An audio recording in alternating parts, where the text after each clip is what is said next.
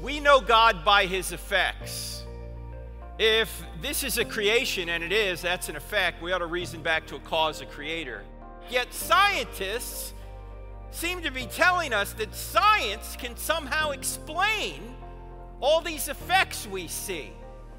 And actually, what I think they're doing is atheists are stealing from God while they're arguing against Him.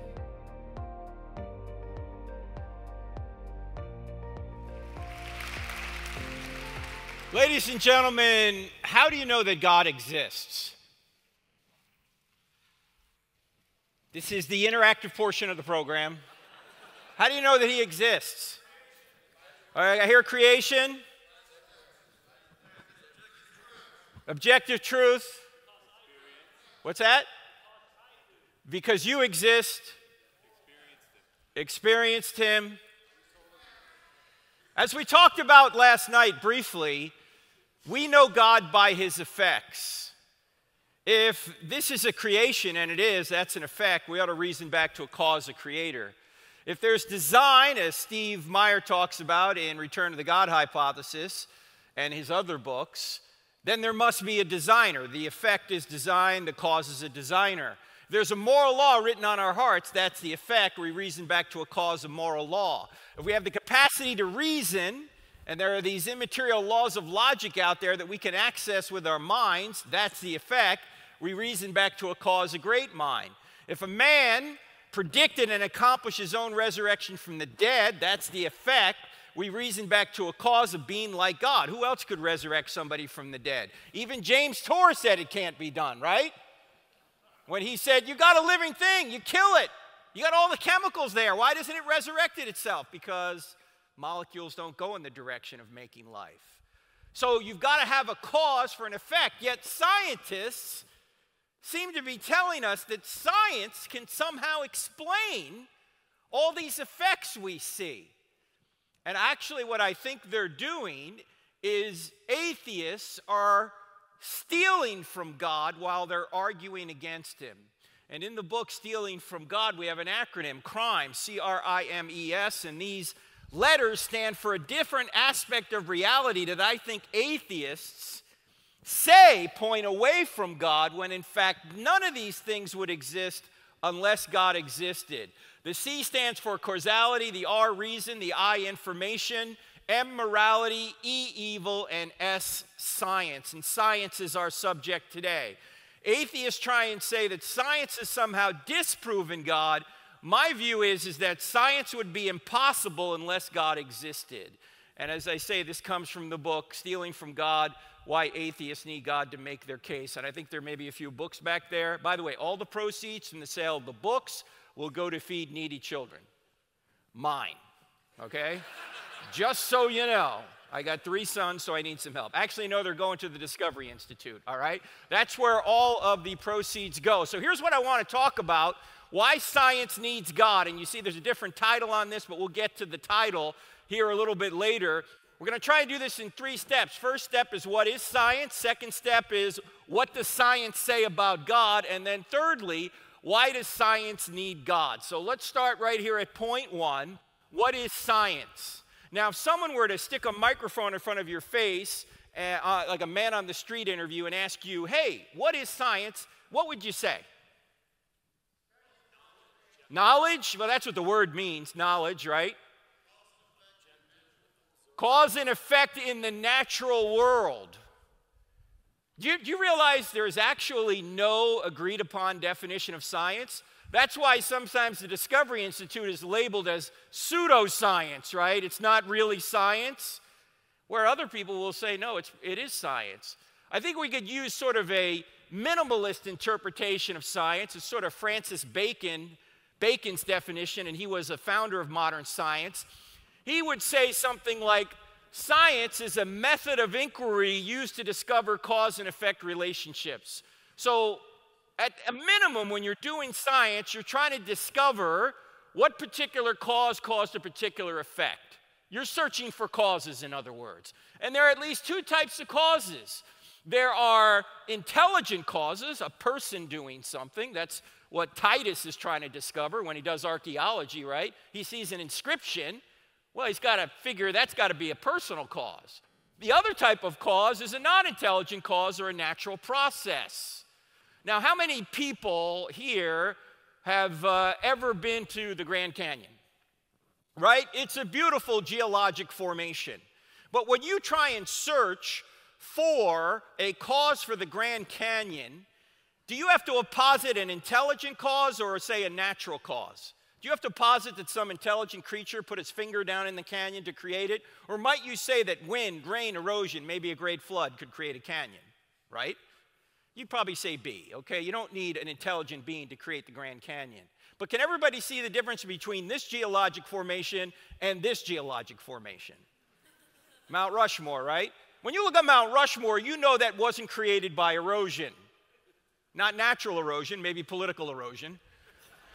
But you know that an intelligent being had to create those faces on Mount Rushmore. And all we're saying here is that the Grand Canyon is an example of a natural process or a natural cause, whereas uh, Mount Rushmore would be the, an example of a intelligent cause. Now, there are two types of science in addition to two types of causes.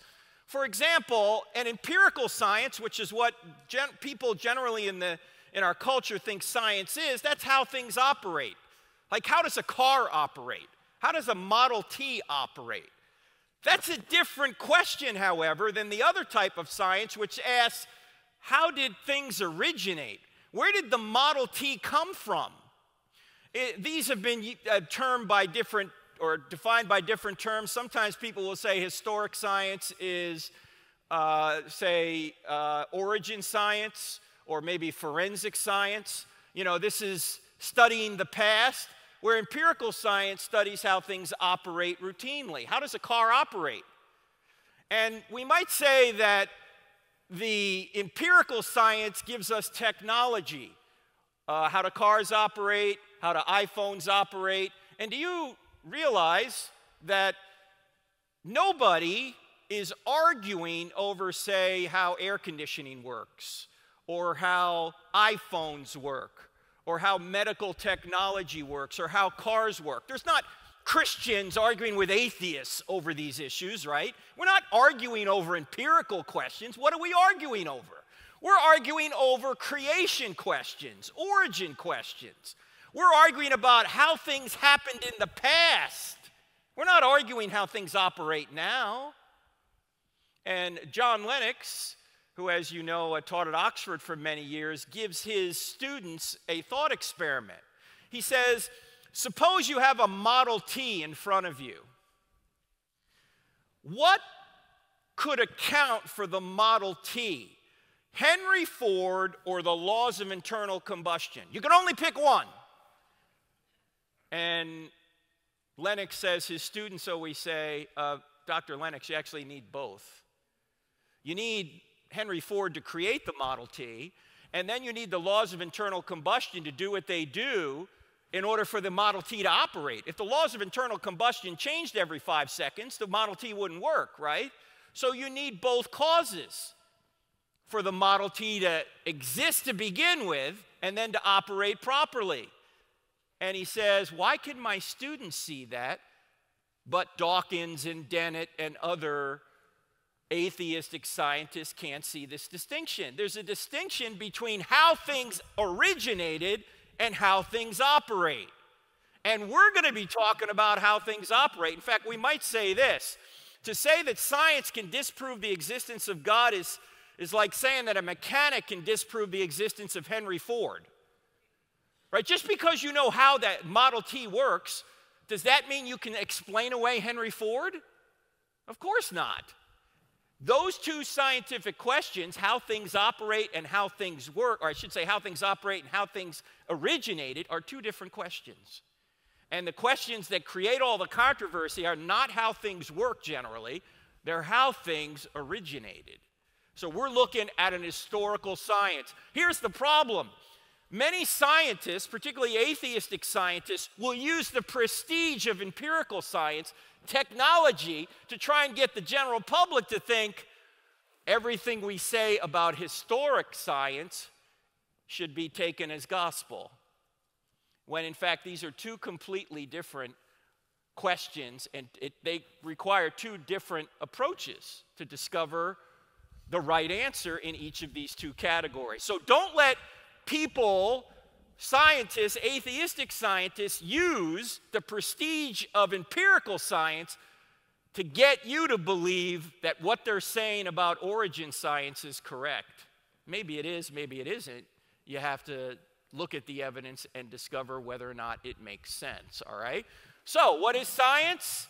It's a search for causes. Two types of causes natural and intelligent, two types of science origin science or historic science, and operation or empirical science. You with me so far? All right, next question What does science say about God? And in order to do this, we got to go back to OJ. OJ. Now, some people in here have never heard of OJ Simpson. Who's never heard of OJ Simpson in here? Don't know anything about OJ Simpson. Okay a few of us, a few of you youngsters. O.J. Simpson was one of the best running backs in NFL history. He ran for many years for the Buffalo Bills. This is back in, say, in the 70s. Uh, before that, he was at USC. He won the Heisman Trophy. After he retired, he was a sideline reporter for the NFL. And in 1994, his wife and her boyfriend, his ex wife, and her boyfriend were brutally murdered in Brentwood, California. It was a slash and dash murder. Blood everywhere, obviously. Both of these individuals were brutally knifed. And OJ was seen as the prime suspect. And as you can see, the Newsweek article here said trail of blood. And there really, literally was a trail of blood from that crime scene all the way to OJ. And here is some of the evidence that they found. O.J. Simpson's blood was at the crime scene. There's only a 1 in 170 million chance it was not his blood. Secondly, Ron Goldman, who was killed, uh, Nicole Brown Simpson, that's OJ's ex wife, and Simpson's blood were in Simpson's white Bronco. For those who are old enough, you remember there was a low speed chase on the LA freeways, not because of a traffic jam, but because uh, they were tracking OJ, and he was in the back of this he was in the back of this Bronco, and a friend of his was driving it, and he was going to kill himself in the back of the. I mean, I don't have time to get all the details, but it was high TV, to say the least. Uh, the glove at the crime scene had blood from all three and matched the glove at Simpson's house. When OJ was on the sidelines at the NFL, he you, would wear these like isotoner gloves when he's holding the microphone. And one of those gloves were found at the crime scene. It had blood from all three of them on it. And there was another glove at his house that matched that glove. Then there was a bloody footprints at the crime scene were from a rare brand of size 12 shoes that Simpson owned. There were only 199 pairs of these shoes sold in the United States, and Simpson had one of them. And his footprints were found at the crime scene. Also, Brown's blood was on Simpson's socks. There's only a 1 in 21 million chance it wasn't her blood. Now, here's my question Does science show he was guilty? How many say, yep, guilty? How many say, no? How many say, it's a trap? Don't answer. Yeah, it's actually a trap. Why? The reason is is because science doesn't say anything, scientists do. Science doesn't say a word. This is just data. First of all, you got to discover whether this data is accurate, and then secondly, you got to you got to make a judgment. Does this data point more clearly to his guilt or maybe to his innocence? How could he be innocent? Well, maybe the, maybe the evidence was planted. You had that racist Mark Fuhrman on the LAPD. Maybe he planted this. Maybe there's other explanations. The data doesn't tell you that, does it? The data simply is raw, and then you need to try and judge the data. You need to interpret the data. And in fact, your worldview can determine how you interpret the data. In fact, there was a survey done by Newsweek magazine 10 years after the murders. Here's what they found 77% believe Simpson was guilty. Oh, before I go there, whatever happened with the trial? Does anyone know? What happened was, oh, you guys know about the glove, don't you? Johnnie Cochran, his defense attorney, was very astute because that glove they found at the crime scene, he was going to, OJ was going to try on during the trial. And at the opportune time, he tried the glove on. And before he tried the glove on, Johnnie Cochran said, if the glove doesn't fit, you need to acquit. So he, OJ had this, everybody, by the way, everybody loved OJ. OJ was like a hero, okay? So he's got this, this uh, kind of uh, surgical glove on, and he starts to try and put this glove found at the crime scene on, and he couldn't put it on.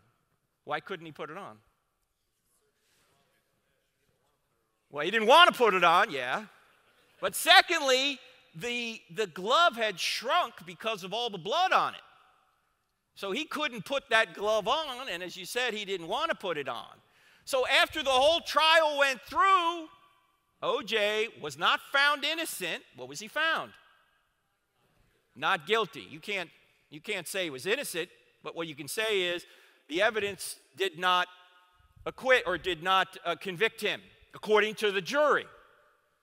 Now, CNN later did a whole uh, documentary on this, and they interviewed all the jurors, and they found that no matter what the evidence, even if they had video evidence, they never would have convicted OJ. Okay? OJ later went to jail for another reason, but he's free. He's a free man right now. Okay? Anyway, here's what they found 77% believed Simpson was guilty, but there was an ethnic divide. 87% of whites thought he was guilty, where only 27 or 29% of blacks thought he was guilty. Why, do you think? Everybody's looking at the same evidence, but people might be coming at it from different worldview perspectives. Blacks had often seen them treated immorally by having evidence planted against them, where whites hadn't seen that.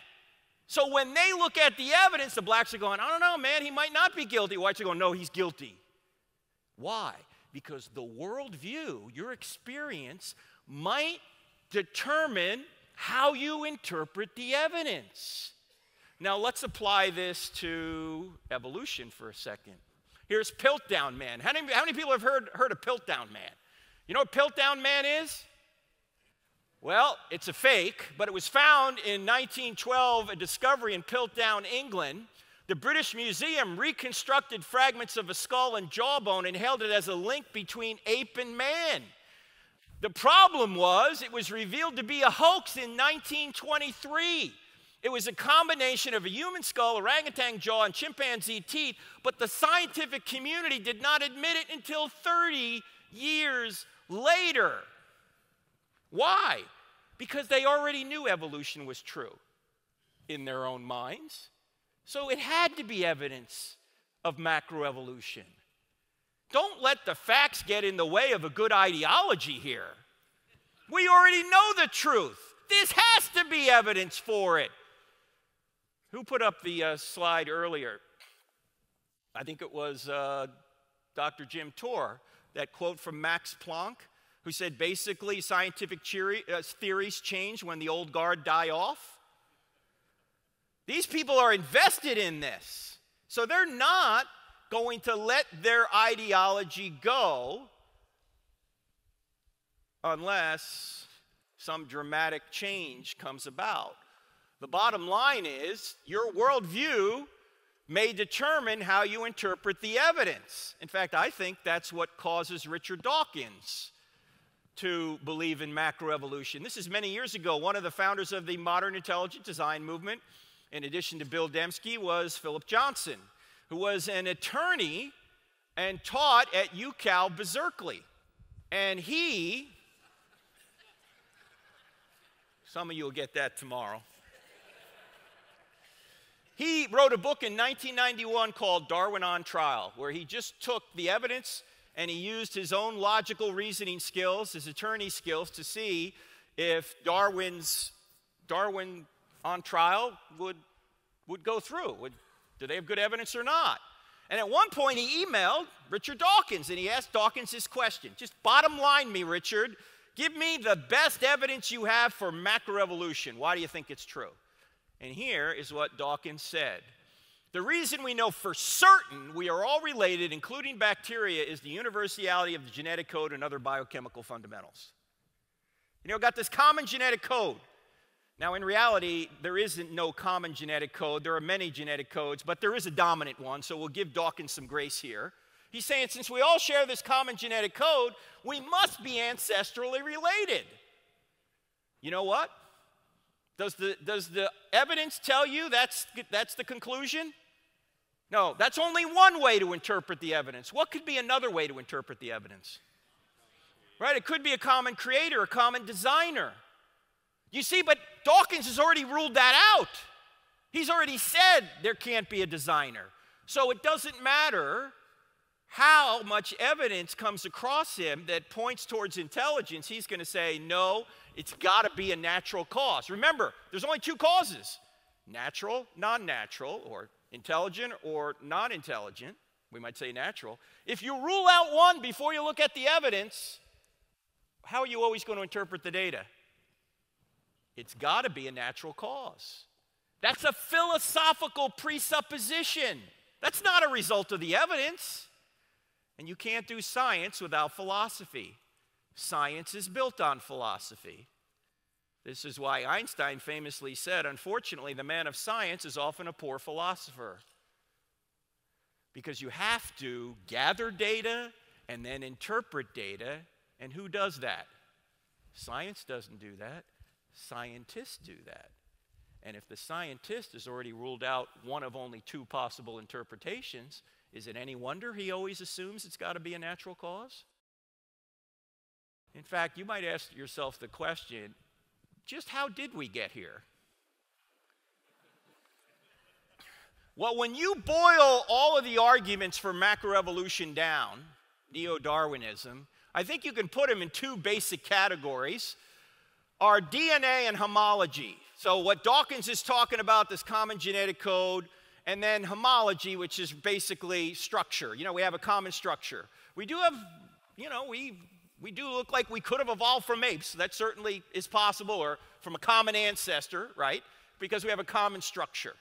And so, what the evolutionists might say is this points to a common ancestor. And they could be right. But you might ask them, well, why a common ancestor and not a common designer? Well, because evolution's true. Well, how do you know evolution's true? Because of DNA and homology. Can anyone see this is called circular reasoning? You would need evidence outside of DNA and homology because that evidence could go either way, correct?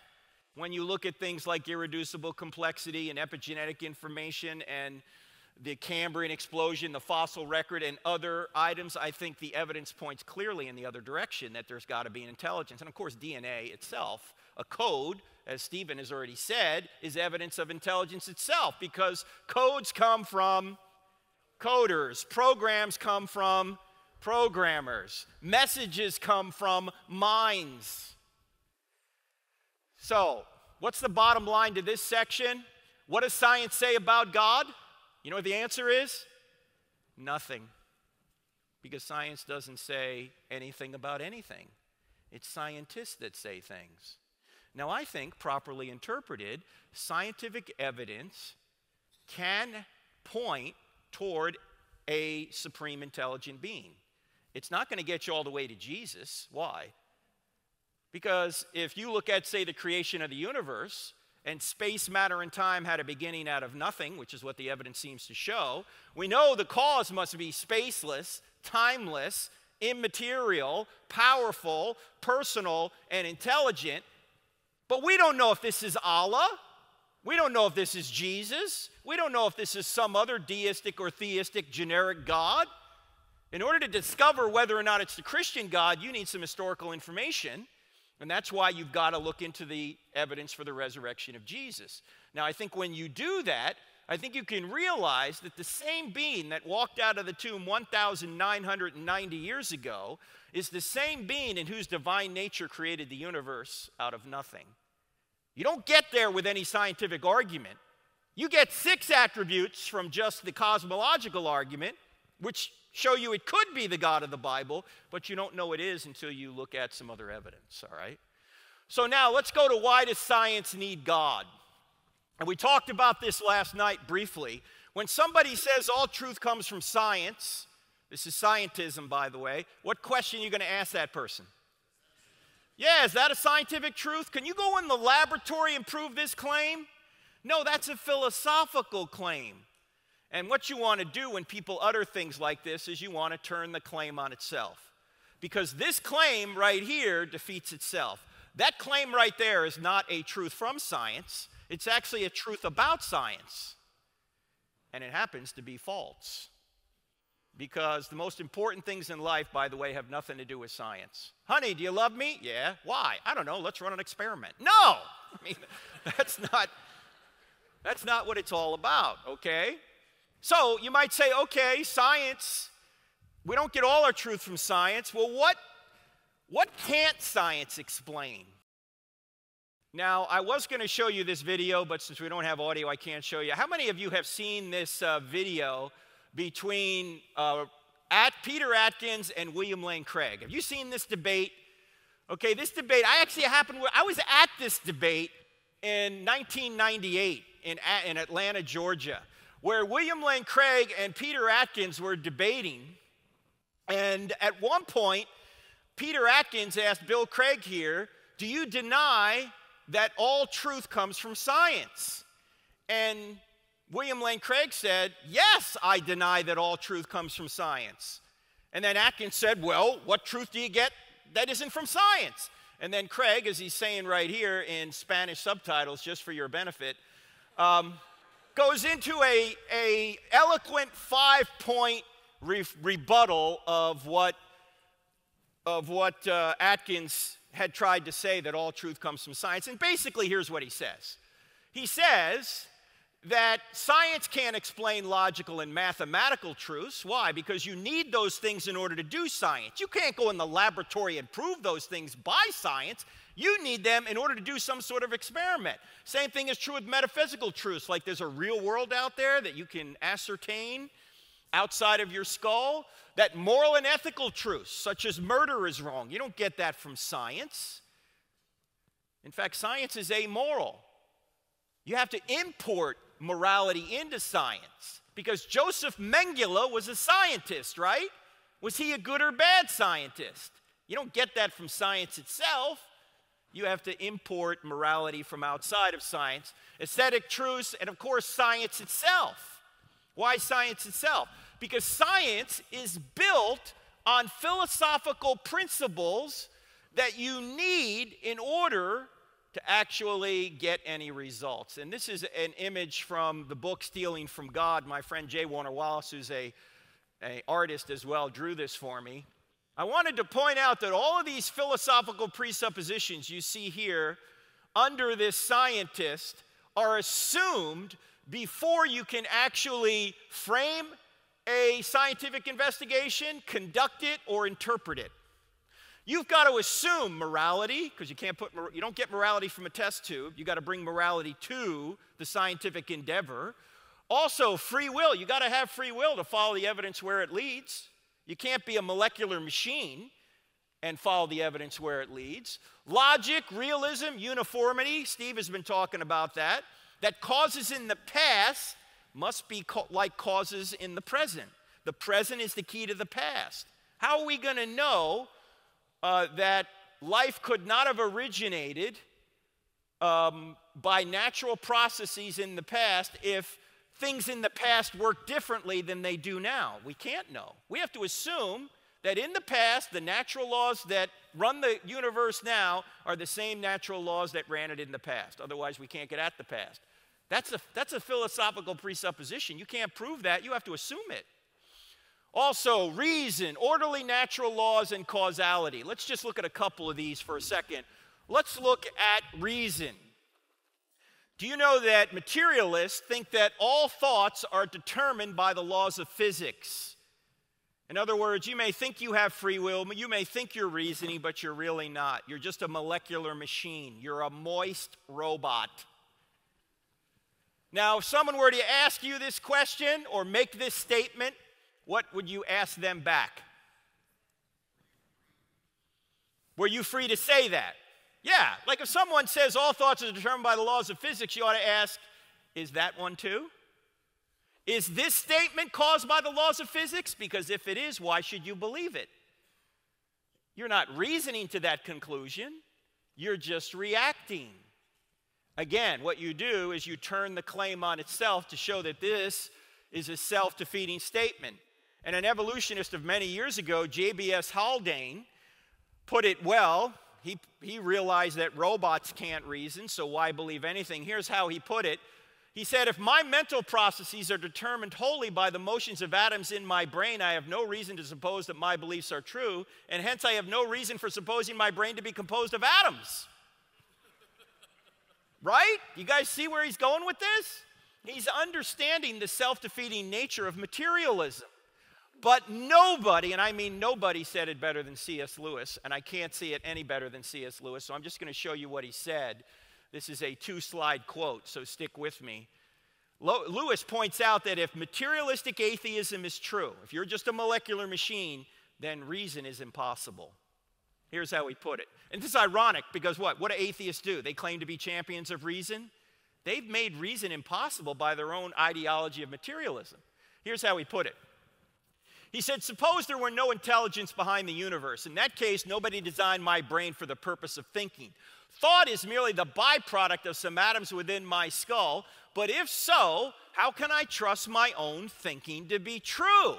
But if I can't trust my own thinking, of course I can't trust the arguments leading to atheism, and therefore have no reason to be an atheist or anything else. Unless I believe in God, I can't believe in thought, so I can never use thought to disbelieve in God.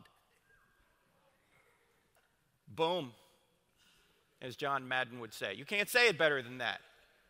Atheists are stealing from God to argue against Him. They can't explain the effect of reason, and yet they're just assuming that reason is on their side. Reason should make no sense if they are molecular machines, if materialism is true. Daniel Dennett, one of the new atheists, believes consciousness is an illusion. One wonders if he was conscious when he wrote this. In order to know your consciousness is an illusion, you've got to be outside your consciousness, right? Like, for example, how do you know that you're just having a dream? What has to happen to you? You got to wake up. You got to get outside the dream to say, whew, that was just a dream, right? In order for you to say your consciousness is an illusion, you'd have to have some kind of super consciousness to say that your consciousness is just an illusion. You'd have to be God, in other words. Here's the problem with atheists on these issues atheists exempt themselves from their own theories, right? Daniel Dennett thinks consciousness is an illusion, but he doesn't think his own consciousness is an illusion. He has to use consciousness to write books to say that consciousness is an illusion. This is self defeating. So, reason is impossible if materialism's true. What about orderly natural laws? Why do we need those in order to do science? Well, let's go back to you at 11 weeks. This is you in the womb at 11 weeks. Question Is this animal mineral, vegetable, or human? That's human.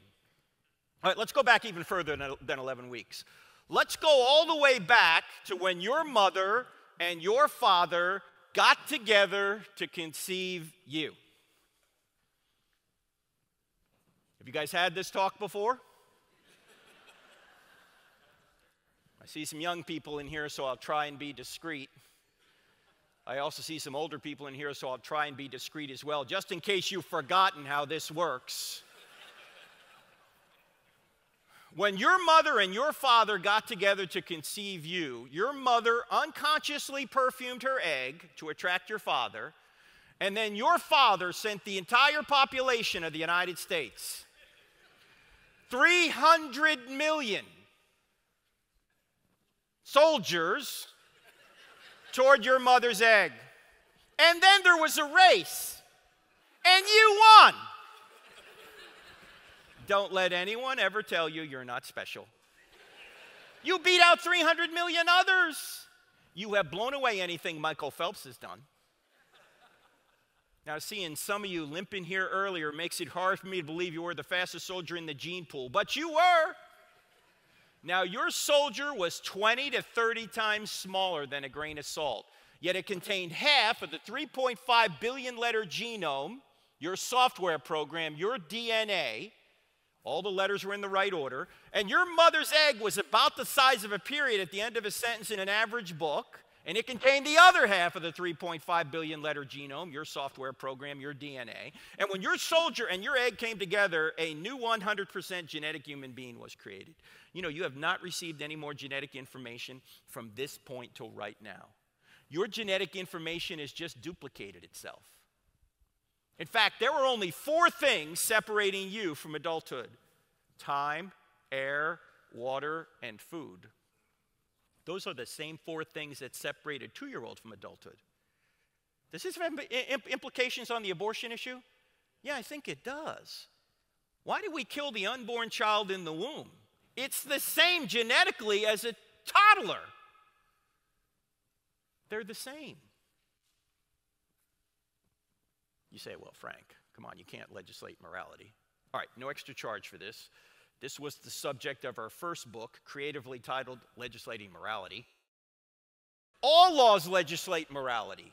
Every law declares one behavior right and the opposite behavior wrong. You can't think of a law that doesn't legislate morality. The only question is whose morality will we legislate? And I don't want to legislate my morality. I don't want to legislate your morality. I want to legislate the morality. The one Thomas Jefferson said was self evident. The one the Apostle Paul said the Gentiles are not of the law of the law written on their hearts. Look, if you have a problem with the morality, you don't have a problem with me. I didn't make it up. This isn't my morality. I didn't make this stuff up. I didn't make up the fact that murder's wrong, that abortion's wrong, that rape is wrong, that theft is wrong, that men were made for women and women were made for men. And the best way to perpetuate and stabilize society, which is the reason the, go- the government's involved in marriage to begin with, is to legally recognize that man woman relationship over every other relationship. I didn't make any of this stuff up. This isn't my morality. It's not yours. It just happens to be thee. And if you don't like it, you don't have a problem with me. You have a problem with the Creator upon whose nature this morality is derived. All right, no extra charge for that. Let's go. Let's go back to this. Thank you, Mom. Thank you. Let's go back to this. From this point till right now, a construction project of astonishing complexity began taking place. Cells began multiplying at a rate of 4,000 cells per second. Brain cells began multiplying at a rate of 100,000 cells per second, for most anyway. Some cells became brain cells, others heart cells, others lung cells. Some cells went so far across you to become what they needed to become that it would be equivalent to you today walking across the United States alone. And that construction project continues to this very moment. You just made 4 million new red blood cells. You just made another 4 million new red blood cells. You just made another 4. Knock it off. I mean, are you thinking about this? Are you going, Frank, hang on, time out. I gotta, I gotta make new red, red blood cells right here. You're not thinking about this at all, right? It's just happening. Why is it happening? Aristotle recognized something 2,400 years ago. He didn't know anything about blood cells, but he did know that all of nature's going in a direction. For example, why does an acorn, if it's properly nourished, always go in the direction of becoming an oak tree? Why doesn't it become an elm tree or a birch tree or a seahorse? You say, well, Frank, it's programmed to become an oak tree. Well, who programmed it? Is an, is an acorn conscious? Is an acorn in the ground going, all right, what do I have to do to become an oak tree? No, it's not conscious. but it goes in a direction consistently. If it doesn't have a mind of its own, yet it reliably goes in a direction, there must be an external mind directing it toward an end. That is what Aristotle called the unmoved mover. Thomas Aquinas came along in the 1200s AD and he said, This is going to be my fifth way to argue for God. That all of nature's going in a direction. If it's going in a direction, there must be someone directing it. Ladies and gentlemen, this is why we can do science. Because nature is going in a direction, nature is orderly. Natural laws are persistent and consistent. Now, notice this argument for God is not a Big Bang argument way back when. In fact, Aristotle mistakenly thought the universe was eternal. Yet he still said there's got to be a director, there's got to be a cause for all this. Every, there's got to be somebody keeping all this going. So, this is not a historical cause, this is a cause that exists every single second the universe exists. This is why Paul comes along and he says, In him we live and move and have our being. And Christ holds all things together. And the writer of Hebrews says, God sustains all things by his powerful word. This is why we can do science. If the world wasn't orderly, if these natural laws didn't exist, if cause and effect didn't hold, you couldn't search for causes. In fact, you could do nothing because you wouldn't exist we're being held together. So, science requires nature to be goal directed. Why is nature that way? Because there's a mind behind nature. You know, we forget what God does. Yes, God creates. We forget, though, He also sustains, and on certain instances, He intervenes directly in special acts to get our attention. You ought to follow this guy because I'm pouring out miracles through him. That's why you ought to follow Moses. That's why you ought to follow Elijah and Elisha. That's why you ought to follow Jesus and the apostles because they can do miracles. So, what's the summary of all this? What is science? A search for causes. Two types of causes natural causes, non natural or intelligent causes. Two types of science historical science, empirical science. What does science say about God? Nothing, because science doesn't say anything. Scientists say things. One other quick example of this, we'll go to your questions here in a minute. You ever wonder why you get you've gotten conflicting advice on COVID? You say follow the science. Which science? Look, if scientists have good data and they interpret it properly, you'll get good advice. If they got good data and don't interpret it properly, you'll get bad advice. If they got bad data doesn't matter how they interpret it, you're going to get bad advice. If there's a political agenda, no, that'll never happen. Scientists are just as susceptible to the big three motivators that can pull any of us off track. What are the big three? Sex, money, power. That can corrupt any of us. Scientists are just as susceptible to that as anyone else. So, why does science need God? Well, first of all, you need an orderly universe and you need reliable cause and effect. And without somebody ordering it all that and keeping it all going, you couldn't do science. So let me give you the five points I hope you take away from what we just talked about. John, you can come up now because we're just gonna just gonna go through these five real quickly. We know God by his effects, and science is a search for causes of effects. Some effects discovered by scientists provide evidence for an intelligent cause. It's not a God of the gaps argument. As Steve will say, once you have a message, you've got positive evidence for an intelligent cause, not just a lack of a natural cause. Two, knowing how something works doesn't explain its origin. Just because we're really good uh, with technology shouldn't get you to believe that just because scientists who are really good at making iPhones or any other technology that they know how we got here. Thirdly, since all data needs to be interpreted, science doesn't say anything scientists do, and atheists often interpret wrongly because they ruled out the one type of intelligent cause or the one type of cause out of two that exist. They've just ruled it out. Number four, science would be impossible without orderly, goal directed natural laws, and such laws, I think, are best explained by God.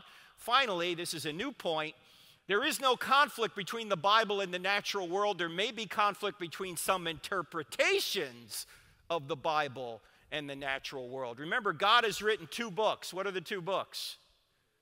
The Bible and creation, the Bible and the natural world. So let's end with Sir Fred Hoyle, who was an atheist. He said this A common sense interpretation of the facts suggests that a super intellect has monkeyed with physics as well as chemistry and biology, and there are no blind forces worth speaking about in nature.